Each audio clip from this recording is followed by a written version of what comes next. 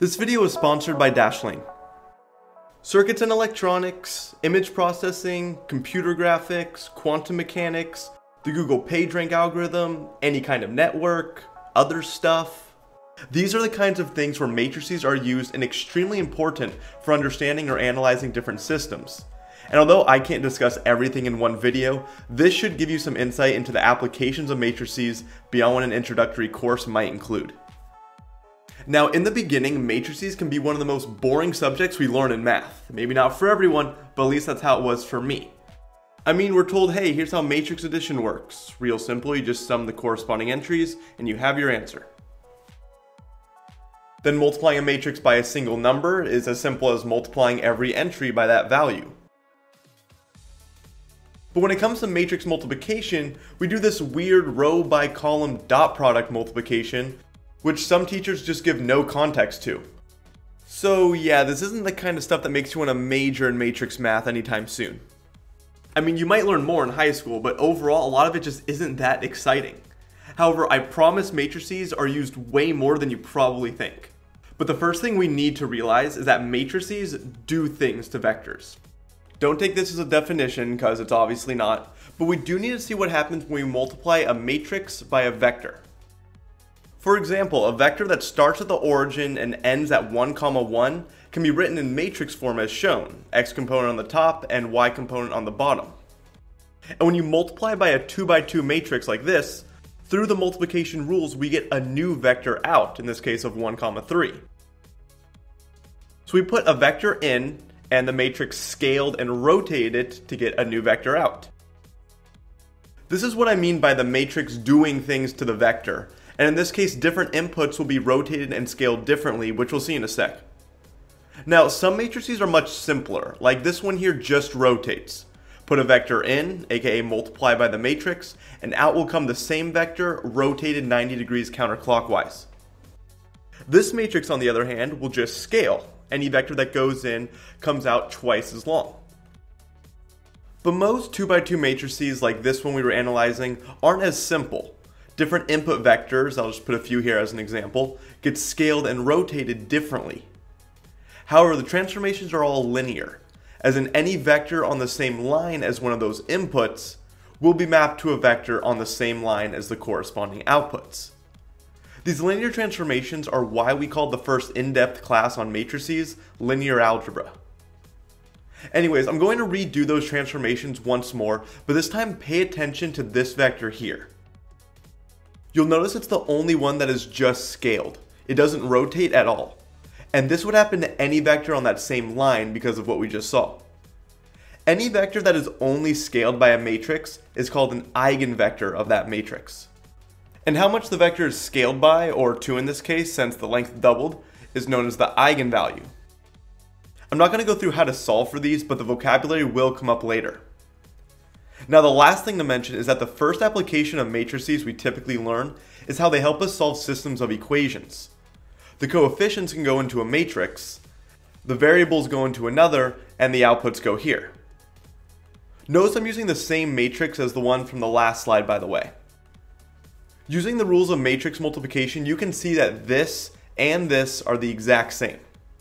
So really what this is asking is which input vector does this matrix map to 1 comma 3? Well, we already saw the answer to this. 1 comma 3 is this output.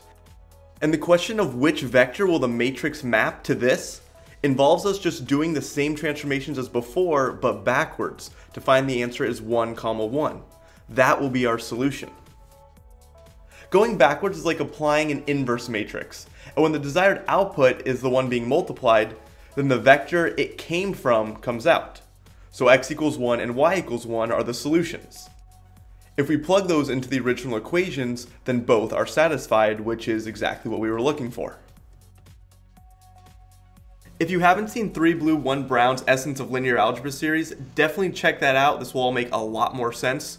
But here we're focused on applications which we're going to get to now.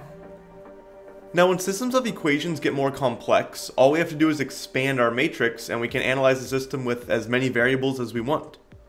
The reason matrices are used in circuits and electronics, for example, is because these can be represented by linear equations in which all the voltages and currents are the unknown variables. When the circuits get hectic where we don't want to solve it by hand, we can just have a computer find an inverse matrix and we'll have our currents and voltages. But that's still not too exciting. So what about a system that continuously evolves over time? Like, for example, let's say there's a zombie outbreak at the local high school, pretty standard situation, and the place is quarantined so no one can go in or out, but the zombie infection is spreading. So we've got humans in the school and zombies, but no one is coming in or out, so the population remains the same. Now, let's say every hour, 20% of humans will turn into zombies due to being infected. There is a cure for the disease, luckily, however, it's not always guaranteed to work. So we'll say that every hour, 10% of the zombies will return back to humans. At this moment, if there are 150 zombies and 150 humans, the question is, what is going to happen in the long run? Now we're going to assume the changes happen in discrete intervals at the hour. So let's see what happens in the first hour. For the humans of the 150 starting out, 80% of them are going to stay human or not become infected.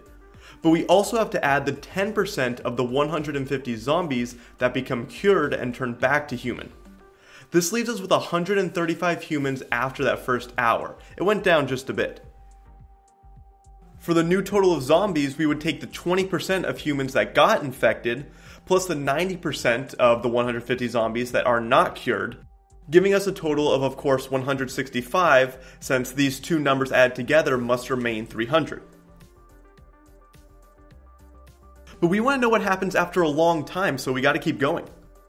After another hour, we write the same percentages, except now the number of humans is 135 instead of 150, and for the zombies, we got 165 instead of 150.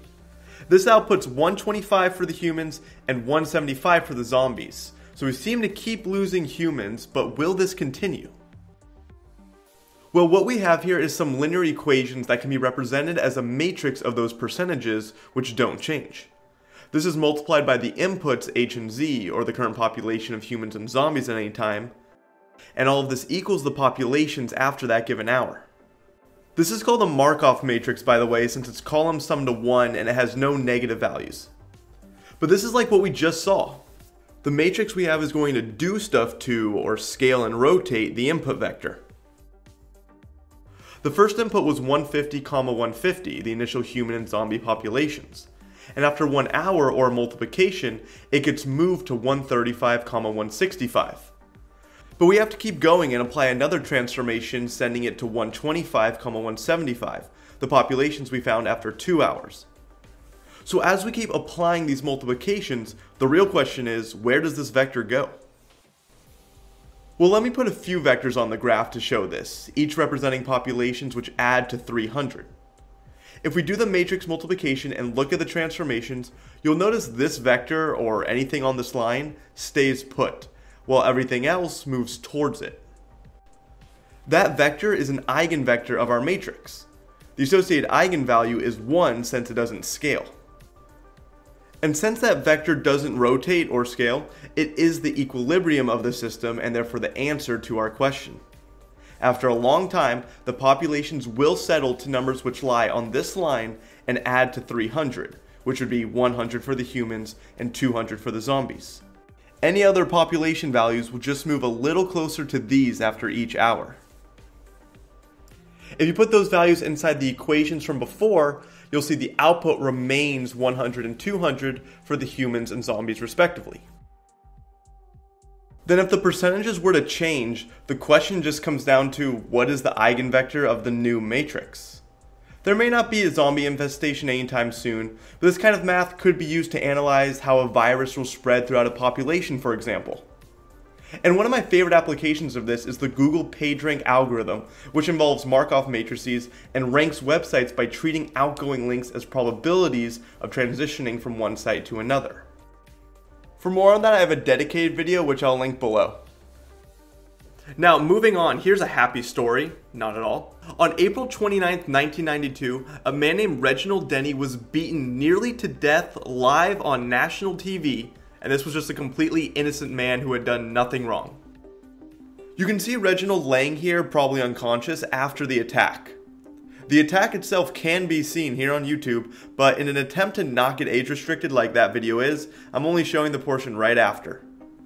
Now the backstory here is that April 29, 92 was the first day of the Rodney King riots in Los Angeles. Reginald Denny was a truck driver whose route for the day involved going through an area where rioting was taking place, which he was not informed about. When he got there, he was stopped by rioters, dragged out of his truck, and that's when the beating took place. Now, identifying who assaulted Denny was not easy since the quality of the live footage wasn't amazing. But what helped law enforcement confidently identify one of the attackers was some advanced math. To understand how this was accomplished, we need to first look at what a digital image is. A digital image, when you look real closely, is just made up of a bunch of pixels each of a single color. Those colors can then be represented by some numerical value. Which means like a square picture made up of a million pixels, 1000 long each edge, could be represented by a 1000 by 1000 matrix where the entries are the color values of each pixel. Working with black and white pictures is much easier though, because a black pixel can be represented with a 0 and a white can be a 1, let's say. We'll actually work with grayscale images here though, meaning anything in between 0 and 1 can exist, which will correspond to a different shade of gray. So when it comes to image processing and manipulation, whether it be blurring an image, detecting edges, sharpening an image, and so on, it all comes down to manipulating the pixels in a very specific way. To see an example, let's mathematically blur this image of the number 1. To do so, I'm going to make a 3x3 matrix where every entry is 1 ninth. This is known as a kernel in image processing, by the way. Then what we're going to do is lay this kernel over our image matrix and multiply the individual entries in each square together, then add the results. In this case, it's just 1 times 1 ninth 9 times, so the sum of all those is 1. Yes, this kernel is really just finding the average of the pixels inside it. From there, we're going to take that sum of 1 and set the center pixel to that color in the new image. It just so happened not to change, it's still 1 or white, but that won't always be the case. Now, you'll notice this grid on the right, where the blurred image will go, is the same size as the one on the left. To get the entire blurred image, we're just going to sweep that red section across the original one. When we slide it over once, all those pixels are still 1, so the average is also 1, and that's what this new pixel becomes. But after sliding over again, the kernel contains a black pixel, so we find the average of 8 ones and a 0, which is about 0.89. This corresponds to a very light shade of gray, which we will put in that middle square. After sweeping across the image mapping each new number to the blurred image, these will be the values. I know this method doesn't really account for the border, but for our purposes we're just going to keep that white. Now I'll actually color in the pixels based on their values and we get a blurred image of the number 1. Actually this is extremely blurred, almost beyond recognition, but if we put an outline along the colored region, we can see the 1 is still kinda there. The reason this is so blurred is because we're only working with 100 pixels. But what the kernel did was kind of took this sharp edge in the original image between black and white and smoothed or averaged it so we get this fading from dark to light in the blurred image. The kernel we use represents a type of blur known as a box blur, and from Wikipedia if you input a picture with many more pixels, then apply the blur, this is the output you get. But there are several other kernels that will all accomplish different things. A Gaussian blur also of course blurs the image, but it assigns more weight to the middle square, so dark pixels stay fairly dark and vice versa. There's a sharpen kernel, and there's edge detection kernels which search for sharp changes in color. You'll notice that all the numbers in this kernel sum to zero, so if we put it over a section of an image where all colors are roughly the same, multiplying by these numbers and adding the results would just yield zero or a black pixel, which is why that corresponding area is black. The only sections that aren't are where we find sharp changes in color, aka an edge. As another example of edge detection, here's a poorly taken photograph of someone's arm, and by using edge detection algorithms, researchers were able to identify a region of some kind of birthmark or tattoo. Well, this is actually a zoomed in portion of this image, where those men can be seen beating Reginald Denny. Using image processing techniques similar to what we've seen, one company was able to determine that this mark was a rose tattoo affiliated with a certain gang in Los Angeles, and it was this that helped them eventually secure a conviction of one of the perpetrators of the attack. Now all this may not have involved much matrix math like we saw earlier, but note I did simplify some things to avoid going into too much detail. And not only image processing, but computer graphics heavily use matrices. With these, what we can do is take geometric data and incorporate it into a coordinate system. We can then scale, rotate, reflect, shift images, and more through matrix manipulation. But things do get much more complicated. Like when you want to project a 3D image into a 2D plane, we can use matrix math to map the 3D points and find where they would appear on the flat screen. Not going to go into much more detail than that, but again, computer graphics are another very useful application of matrices. But for those wanting some real tangible results that come from matrix math, let's look at networks and graph theory. Graphs can represent a lot of things people and who they're friends with, connections on a dating app, networks of cities and how they're connected, websites and how they link to each other, and so on. With small networks, it can be easy to intuitively understand what's going on. Like if I said here's a group of coworkers and connections represent mutual friendships, it wouldn't be hard to see like this is the most popular person and this is the least popular with only one friend. If you had to find how many mutual friends these two people have, no big deal. You can just count and see that it's three. But when the networks get more complex, we need mathematical tools to help us identify key things. This could be like which website should be ranked the highest on the web, which I mentioned earlier. It could be finding who is more likely to spread a disease in a college full of students. Or which people involved in the 9 11 terrorist attacks were most critical to the operation and should be prioritized by law enforcement. Yes, they actually did this after 9 11, which I have discussed in a previous video. We need some mathematical techniques in these cases so we can find things that our eyes aren't always able to when the connections get this chaotic. But let's see what matrices can reveal when it comes to dating apps. Imagine this app only has three men signed up that will label 1 through 3, and three women labeled 4 through 6, and they're matched together as shown. These are mutual connections, by the way, like both people swiping right, and you'll note for now there are no same sex matches. We see this first guy is matched with all three women, the second guy with two, and the third with one. Now this graph provides a nice visual for this situation, but what we can also do is make a table with six rows and six columns for the six people and analyze this instead. We'll say if two people are matched like person 1 and person 4 are, then in the square located in column 1 and row 4, we will put a 1. However, since these are mutual connections, we need to also include a 1 in column 4 and row 1, Basically, if 1 matches with 4, then of course 4 has matched with 1, so the data has to reflect that. So that means, yes, the table is going to be symmetric about the diagonal. Then if two people are not connected like person 1 and 2, we'll put a 0 in that square, in this case column 1 and row 2, but of course we can't forget column 2 and row 1. Since no one matches with themselves, the diagonal is going to be all zeros, and then these would be the rest of the connections. So if you want to know whether person 5 and 2 are connected by the table, just go to column 5 and row 2 or vice versa and see if there's a 1 or a 0 there. From this, there are obvious things we can see. Like for person 1, we can look down their column or across their row and find they have 3 matches in total because of the three ones. But we're going to use some slightly more advanced math to analyze this graph. So instead of considering this a table, we're going to call it a matrix by just taking away the grid lines, but otherwise nothing has changed. When it comes to graphs, this is known as an adjacency matrix.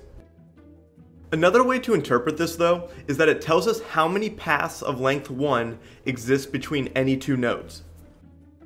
Oh, and for the rest of this video, when I say path, I just mean any sequence of edges that joins a sequence of vertices, basically just a walk.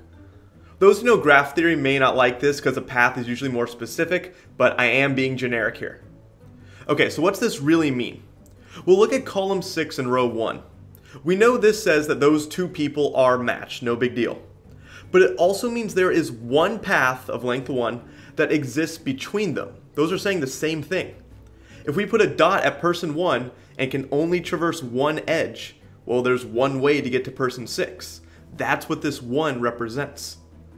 On the other hand, there are zero ways to get from person 1 to person 2 in one edge. If you start at person 1, there are paths to person 2, but they all have a length of 2, which is not what we were looking for. But now, what if I want to see quickly how many mutual matches two people have? Well, if we look at person 1 and 2, this isn't tough. We see there are two mutual matches. However, this question of mutual matches is no different than asking how many paths of length 2 exist between person 1 and person 2. Well, we just saw that. The answer is 2, as expected, since it's the same question. Again, if I start at 1, I can go to 4 then 2, or 5 then 2. Those two paths mean two mutual connections. The cool thing though is that we can find how many of these paths of length 2 exist between any two nodes by just multiplying the adjacency matrix by itself, or squaring it. We see for person 1 and 2 there are two mutual connections, so that checks out. Then if you look at the graph for person 2 and 3, they have no mutual connections. And on the matrix, this checks out as well from column 3 and row 2 having a 0. However, person 1 and 3 are both connected to 6 and no one else, which we can also find in the matrix, and you get the idea. But now, what would the diagonal mean? Well, that's how many paths of length 2 exist between a person and themselves, aka how many matches they have. Think about it. For person 1, if I start there, to get back to 1 in two edges, I can go to 4 then 1, 5 then 1, or 6 then 1 three options for the three connections. This is why we see a 3 there in the matrix. Person 2 then has two matches, and it goes on. Then if we multiply the new matrix by the original, the same as finding the original cubed, we get all the paths of length 3 from one person to another. See, the original matrix to some power tells us how many paths of that length exist between any two nodes. Now, if we have a same sex connection and link 1 to 2, let's say, all we have to do is add a 1 to the original matrix in the first column, second row, and vice versa. See, when implementing this into software, we just have to make small tweaks to the adjacency matrix, and from there, squaring or cubing it tells us a lot. Actually, something I found interesting was what the matrix cube tells us, specifically the diagonal. For one, it tells us how many paths of length 3 exist between a person and themselves. But looking at the graph, a length 3 path back to yourself tells us there's a triangle there. I'm not going to explain this one in depth, but if you sum the numbers along the diagonal, also known as the trace of the matrix, and divide by 6, that tells you how many triangles in total there are in the network. I just found that to be a cool thing the matrix tells us, which you wouldn't think about at first. Then, on another topic, something I haven't even mentioned yet is machine learning and neural networks, which are coded with and manipulated by matrix math. Mathematically, matrices are a huge aspect of what allows the machine to quote learn. Or in terms of security, there's an example of an older kind of encryption method, which is the Hill cipher. This cipher incorporates matrix operations in order to encrypt and decrypt messages, although no, it's not a modern encryption method. And as much as I'd love to keep going into depth on different subjects, this video is already quite long, so hopefully this showed just how powerful and impactful matrices are though. But also regarding encryption and security, I do want to thank Dashlane for sponsoring this video, a company that's dedicated to keeping you safe and secure on the internet. Dashlane is a password manager that, well, does several things. One, it'll safely store all your passwords all in one place and sync them between devices so you never have to deal with resetting all those passwords you made months or years ago that you can't remember.